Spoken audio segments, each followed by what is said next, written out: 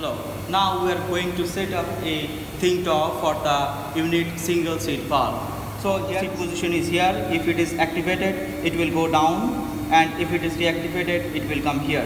So now we are going to set this Think Top for the SSV valve. This is an open type valve, so we have to enter according to the program. So for this type of valve, the program is red and the below LED.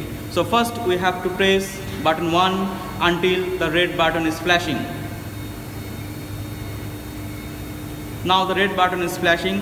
We have to press 1. It will showing its previous program. If we, before every setup, we have to reset the previous program.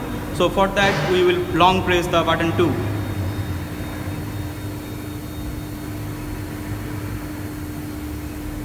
Yes it's resetted so it is waiting for the new program.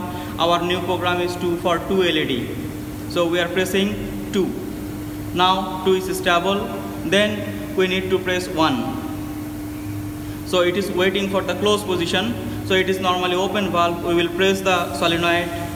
Now it is in lower position. We will press the button 2 release the valve.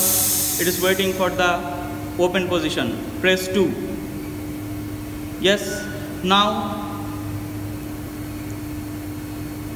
skip the position. Skip the lower seat position. Now it is confirmation for the adjustment. Press 2 yes now press 2 now skip all until the red button is flashing. Now flashing press button 2 and the program is set. Yes now it is showing it is open position. If you press the solenoid it is showing the close position. Thank you